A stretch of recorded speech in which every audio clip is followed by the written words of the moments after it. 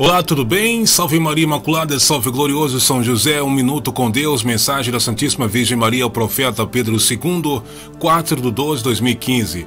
Olhe que este teu cargo foi dado como foi o primeiro e o último, que és tu, meu filhinho. Então não podem ter dúvida as pessoas que vêm te acompanhando. Deus, por sua vez, escolhe quem Ele quer. Imagine sua grandeza de uma pessoa receber a sua santa assinatura. Como está? Como esta que tens só aí já se vê como meu santo filho Jesus te ama e a família toda. O único homem que recebeu a assinatura de Deus, um grande sinal que Deus dá para a humanidade. O profeta Pedro II recebeu a palavra Deus debaixo de um pé de árvore.